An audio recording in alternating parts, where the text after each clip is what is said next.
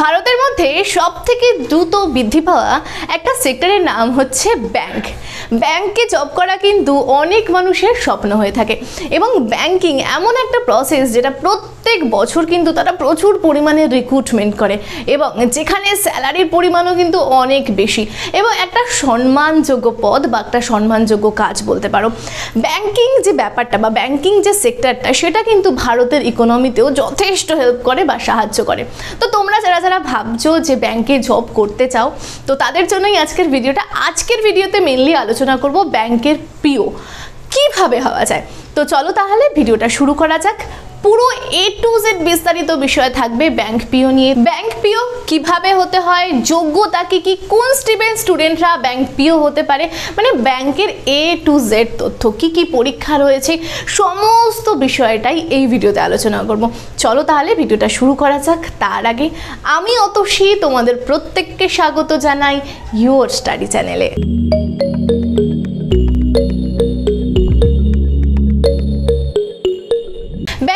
সম্বন্ধে আলোচনা করার আগে একটু তোমাদেরকে জানিয়ে দিই ব্যাংক পিও এই পিও কথাটার অর্থ কি?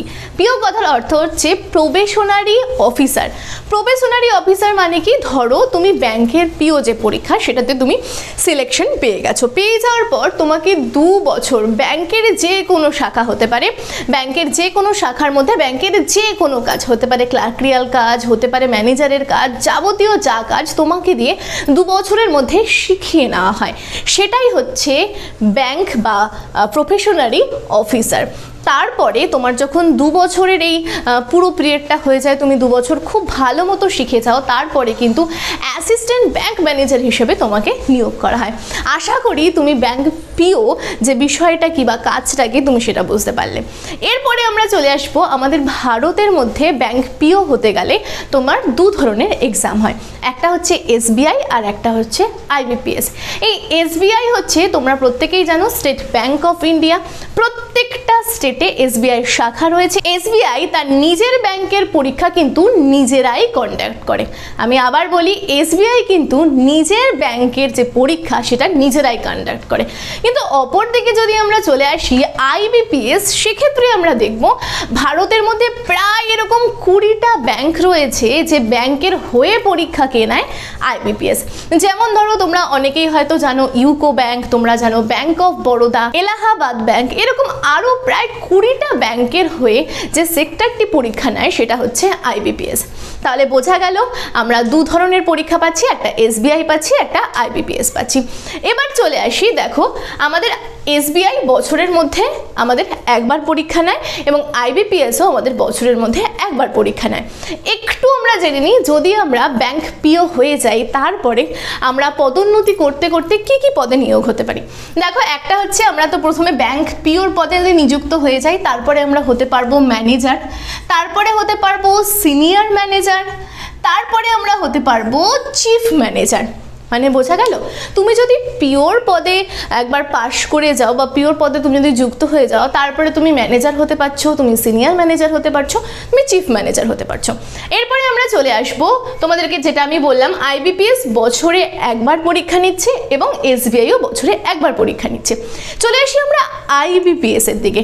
আইবিপিএস বছরে চার ধরনের ফর্ম বের করে বা চার ধরনের ভ্যাকান্সি বার করে। কি কি সেটা?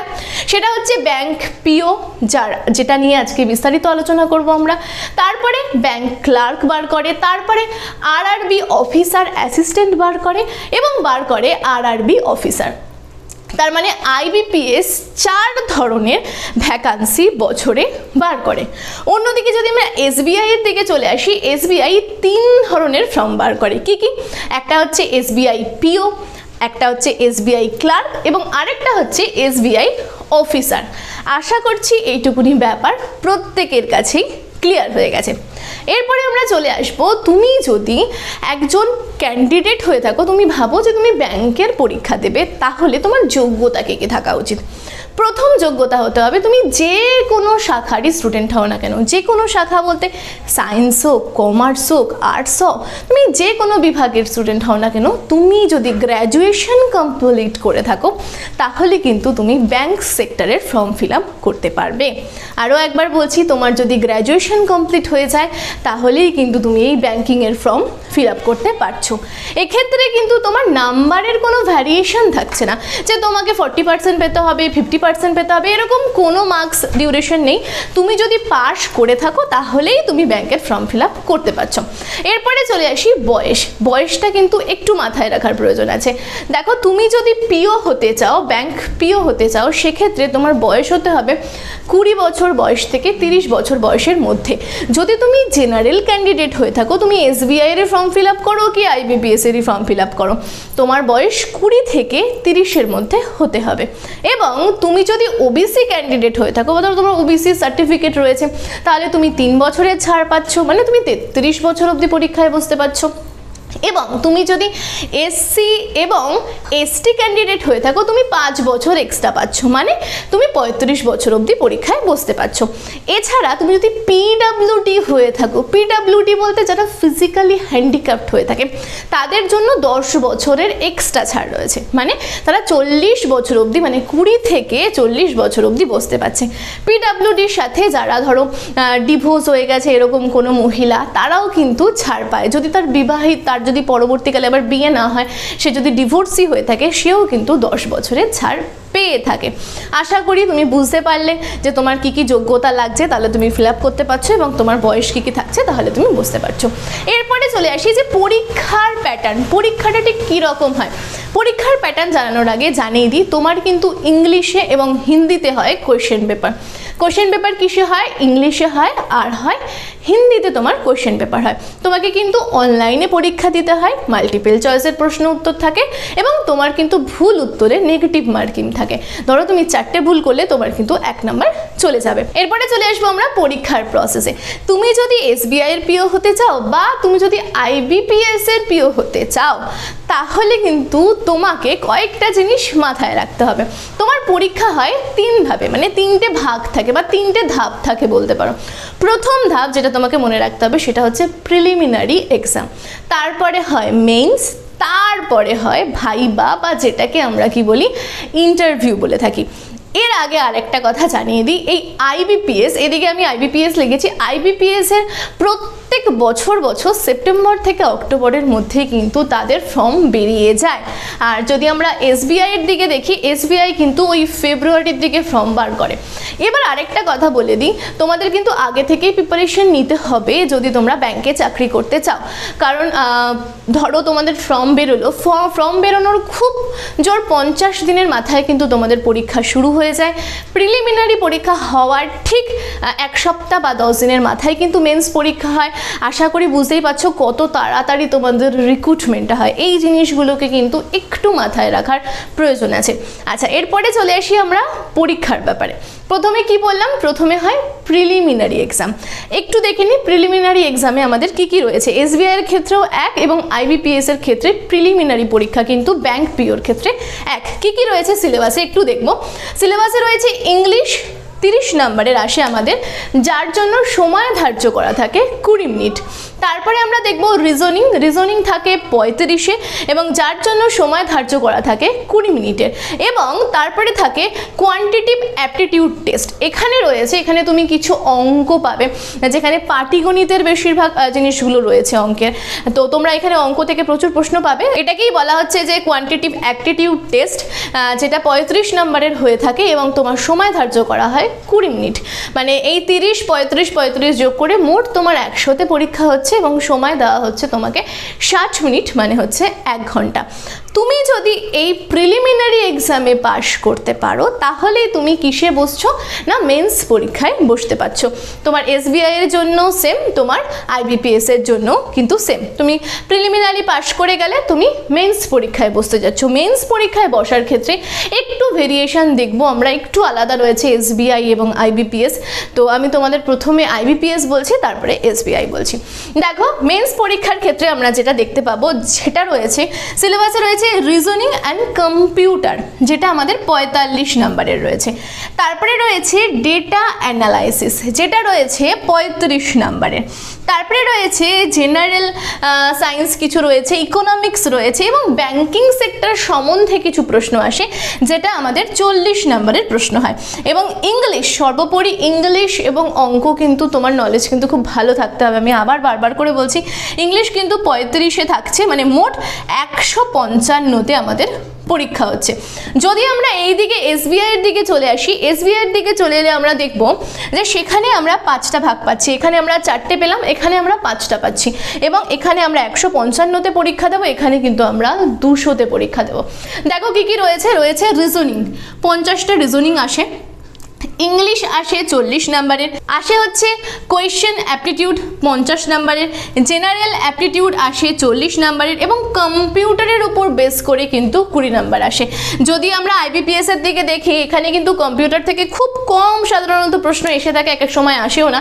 কিন্তু এসবিআই এর দিকে দেখব আমরা, কম্পিউটার নলেজও কিন্তু খুব ভালো থাকতে হয়। তোমরা যদি ব্যাংকিং পরীক্ষা দিতে যাও কেন সমস্ত কাজই কিন্তু কম্পিউটারে করতে হয়। তো এখানে দেখছি কম্পিউটারে কুড়ি নাম্বারের প্রশ্ন আসছে। মোট হচ্ছে দুশো নম্বরের পরীক্ষা।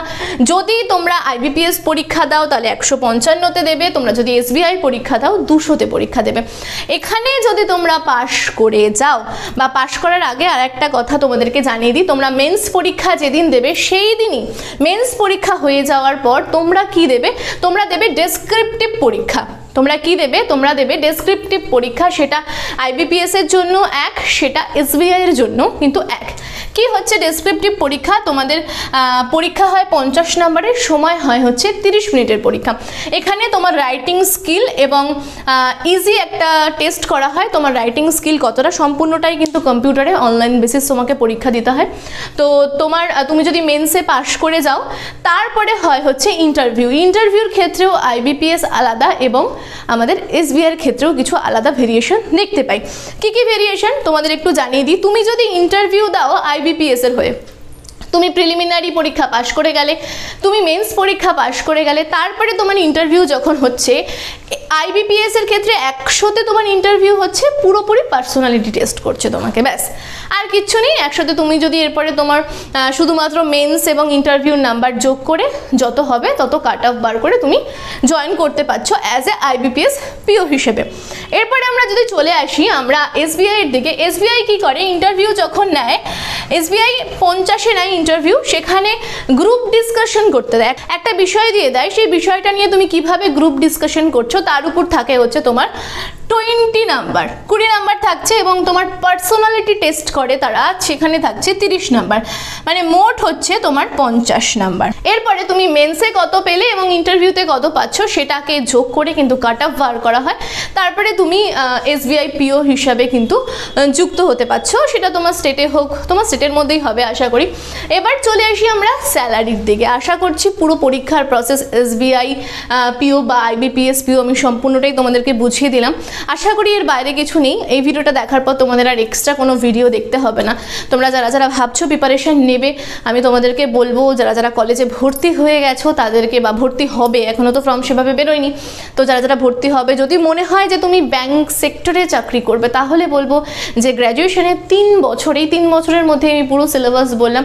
এইভাবে প্রিপারেশন নেওয়া শুরু করো, পড়াশুনো শুরু করো, যখনই পরীক্ষা দেবে গ্র্যাজুয়েশন হয়ে যাওয়ার পর, তখনই যাতে একবারই চান্স পেয়ে যাও, তার চেষ্টা করো। আচ্ছা এরপরে স্যালারির দিক থেকে চলে আসি কেন? দেখো যা কিছুই করি না কেন, আর্থিক দিকটা কিন্তু সব থেকে বড়। তো কত টাকা স্যালারি পাবে অ্যাসিস্ট্যান্ট ম্যানেজার হিসাবে বা ব্যাংক পিও হিসাবে সেটাও দেখে নেওয়া প্রয়োজন। তোমরা প্রথমেই ঢুকতে মানে মেনলি একদম সব থেকে কম যেটা রয়েছে সেটা হচ্ছে সাতাশ হাজার। দেখো এসবিআই এর ক্ষেত্রে কিন্তু তুমি অনেক ফেসিলিটি পাবে, তুমি গাড়ির তেল থেকে আরম্ভ করে সব কিছুই তুমি ফ্রিতে পাবে। তো তোমার স্যালারি এখানে রয়েছে মোটামুটি সাতাশ হাজার। সাতাশ হাজার টাকা থেকে শুরু হচ্ছে আরও অনেক কিছু জুড়বে হ্যাঁ? ঠিক আছে আরও অনেক কিছু জুড়বে। আমি তো সুতরাং লিখছি না, সাতাশ হাজার টাকা, মোটামুটি সাতাশ হাজার টাকা থেকে তুমি ধরো। আর এদিকে চলে আসি আমরা আইবিপিএস সেখানেও দেখব সাতাশ, আঠাশ হাজার টাকা থেকে মোটামুটি শুরু হচ্ছে এবং আরও অনেক কিছু যুক্ত হয়ে মোটামুটি পঁয়ত্রিশ হাজার টাকা তুমি তোমার হাতে পেয়ে যাবে। তো পঁয়ত্রিশ হাজার টাকা কিন্তু খুব ভালো রকমের অ্যামাউন্ট তো তোমরা যারা যারা ভাবছ গ্র্যাজুয়েশন করে ব্যাংক পিও হবে, তো তাদেরকে বলব বেস্ট অফ লাক খুব ভালো করে পড়াশুনো করো। ভিডিওটা কেমন লাগল, অবশ্যই আমাকে জানিও। তো ব্যাংক একটা অনেক বড় সেক্টর আমি প্রত্যেকটা আলাদা আলাদা ভাগ বা পার্ট পার্ট করে তোমাদের জন্য আলোচনা করব। তোমরা প্রচুর কমেন্ট করেছিলে ব্যাংক নিয়ে। তো তোমরা আর কি কি ভিডিও চাইছো অবশ্যই আমাকে কমেন্ট করো। যারা এত দূর অবধি ভিডিওটা দেখেছ, অবশ্যই একটা লাইক করে দিও। তোমার বন্ধু বান্ধব যারা কলেজে ভর্তি হবে বা কি করবে বুঝতে পারছে না, তাদের মধ্যে ভিডিওটা প্রচুর পরিমাণে শেয়ার করে দিও। এবং যারা সাবস্ক্রাইব করেনি, তাদেরকে বলব, কি করছ? সাবস্ক্রাইব করে আমাদের সঙ্গে থাকো। এরকম কেরিয়ার রিলেটেড ভিডিও পাওয়ার জন্য। এবং সর্বোপরি আরও একটা কথা তোমাদেরকে জানিয়ে দিই, আমাদের কিন্তু প্রচুর কেরিয়ার রিলেটেড ভিডিও চলে গেছে। তোমরা কিন্তু এরকম অনেকেই আছো যে সম্বন্ধে ভিডিও দেওয়া হয়ে গেছে সেই সম্বন্ধেই আবার বলছো, দিদি ভিডিও দাও। আমাদের কিন্তু ভিডিও দেওয়া হয়ে গেছে, তোমরা প্লেলিস্টে যাও। প্লেলিস্টে গিয়ে চেক করো, যা যা ভিডিও আছে সমস্তটাই দেখো এবং ডেসক্রিপশানেও লিঙ্ক দিয়ে দিচ্ছি। প্রথম লিঙ্কে ক্লিক করলেই কিন্তু তোমরা সমস্ত কেরিয়ার রিলেটেড ভিডিও দেখতে পেয়ে যাবে। তো আজকের ভিডিও এ পর্যন্তই, পরের দিন দেখা হবে অন্য একটা গুরুত্বপূর্ণ ভিডিও নিয়ে।